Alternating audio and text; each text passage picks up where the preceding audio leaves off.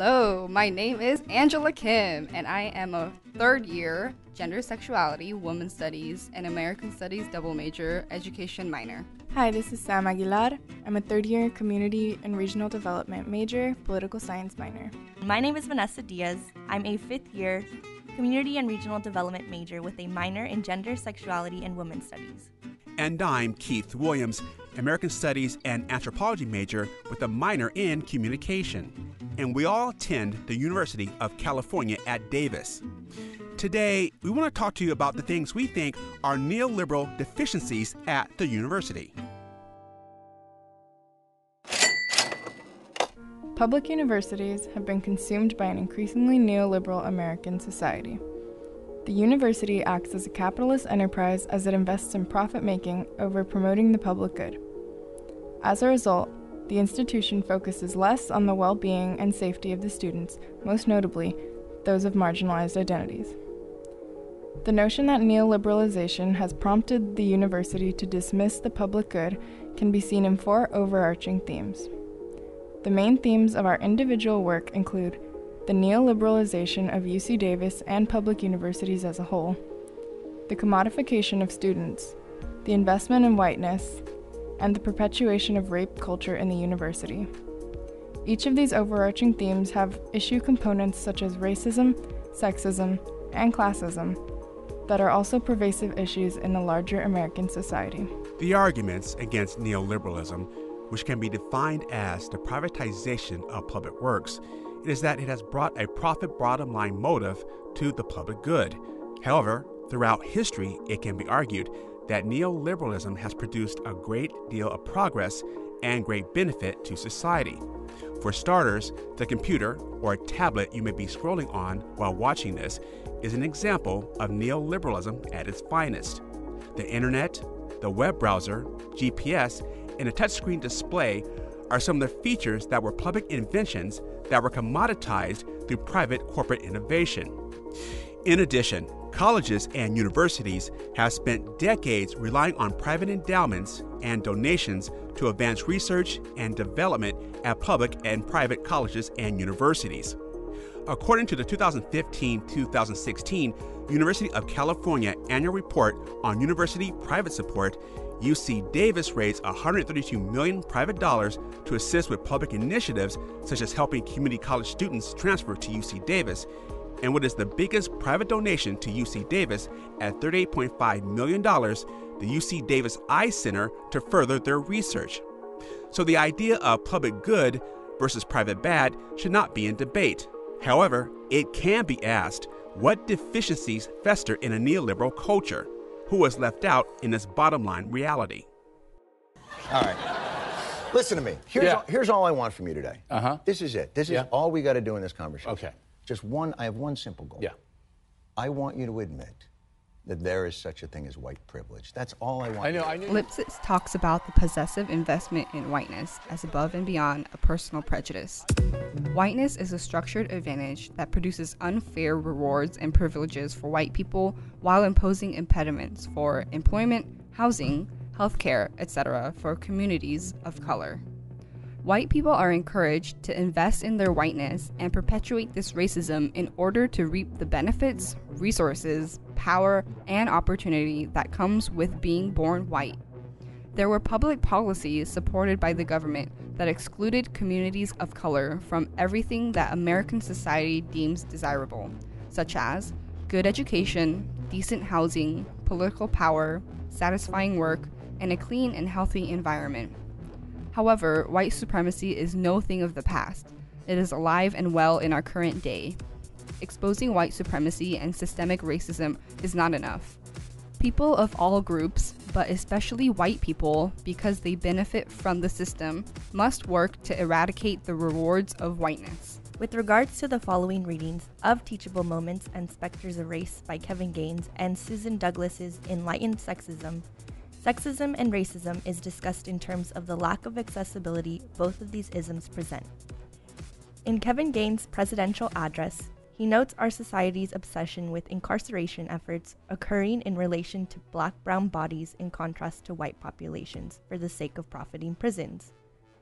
allowing us to connect this train of thought as to why minority students are a minority at UC Davis in comparison to white students.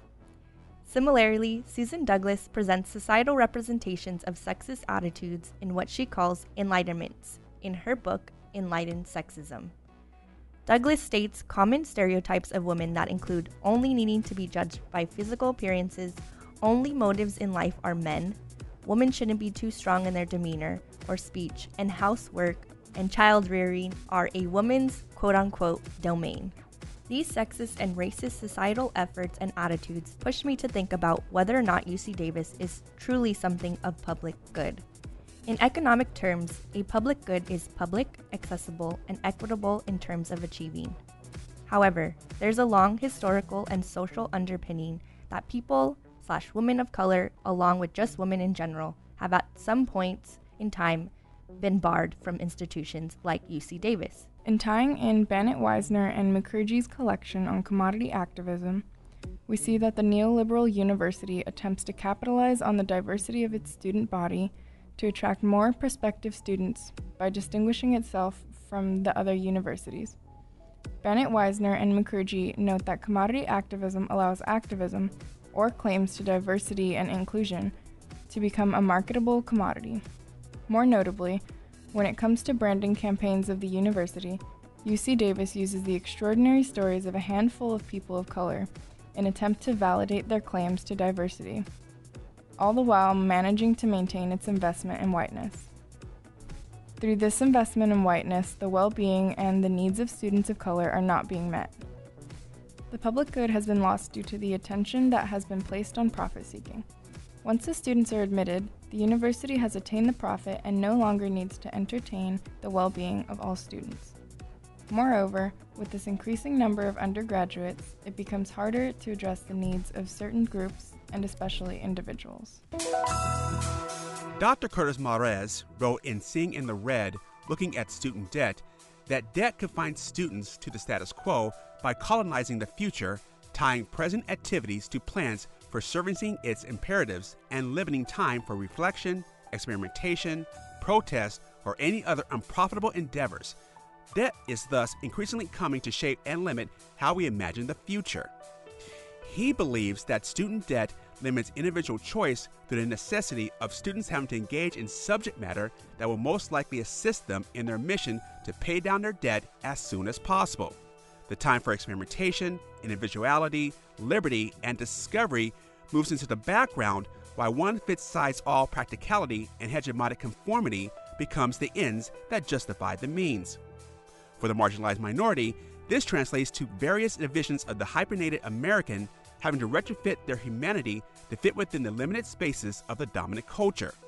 Neoliberalism at this point isn't based on a free market system, but an open air prison that limits opportunity. In a broader context, the commodification of students has ties to classism and racism due to the increasing costs of higher education. Financial capital lays down the foundation on which our society is built upon. Without money, it is a great struggle to maintain your well being and the well being of a family. To earn money, one would need a job, whether formal or informal, and to get a good paying job, one would likely need to earn a degree. But to earn a degree nowadays is also to allow yourself to accumulate thousands of dollars of debt. For many underprivileged students striving for success, this can be an enormous setback. A certain type of human capital is desired by the economic market, which includes education and a specialized skill set. But many social, political, and geographic factors also play into the ability of attaining a job.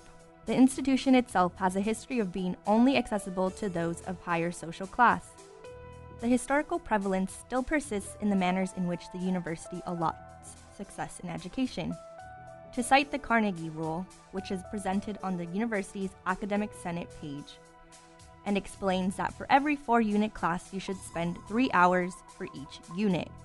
That is roughly 30 or more hours each week, depending on your unit load. If you're a student from a lower socioeconomic status who needs to work in order to afford living and school expenses, there's a trade off between the hours used for academics, according to the Carnegie Rule.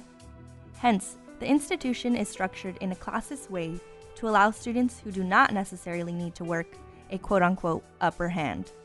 whereas students from lower socioeconomic status make it work with their work and school schedules.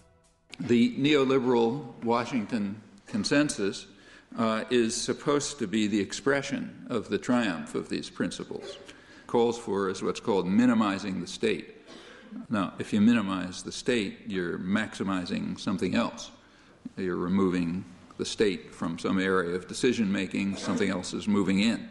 Uh, well, what is it that's being maximized? Where is decision making power shifting?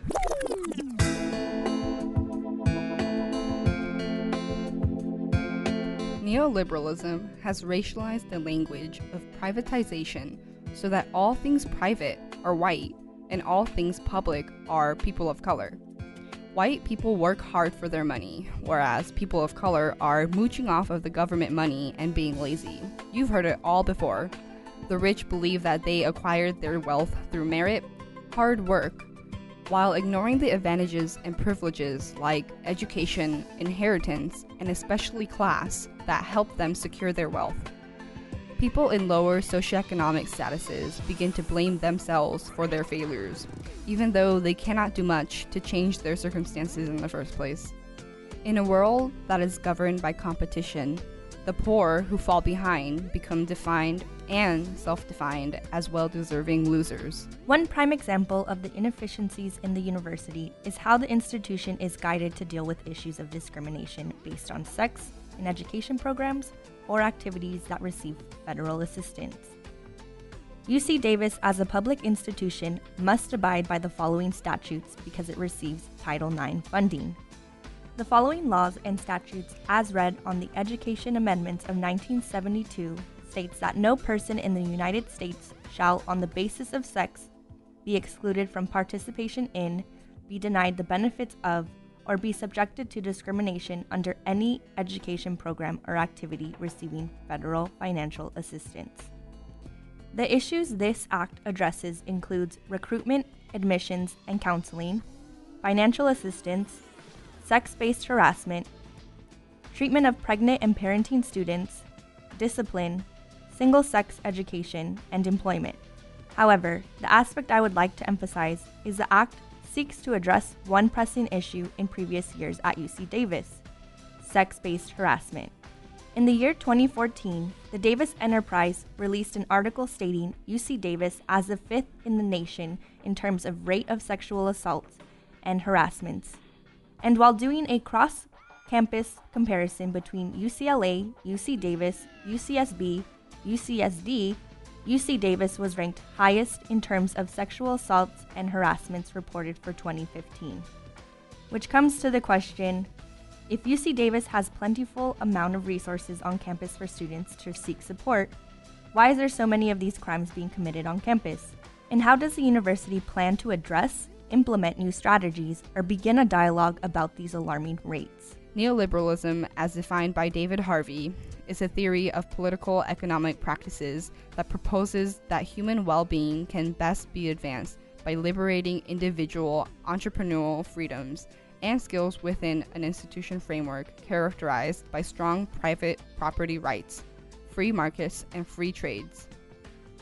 Neoliberal doctrine applied to higher education, according to Henry Giroux, results in the corporatization and militarization of the university, the squelching of academic freedom, the rise of an ever increasing contingent of part time faculty, the rise of a bloated managerial class, and the view that students are basically consumers and faculty providers of a saleable commodity such as a credential or a set of workplace skills. So, those are concerns about the neoliberal reality that has taken over colleges and universities. Thank you to Professor Julie Sze at the University of California at Davis for letting us do this. For Angela Kim, Sam Aguilar, and Vanessa Diaz, I'm Keith Williams, and we thank you for watching.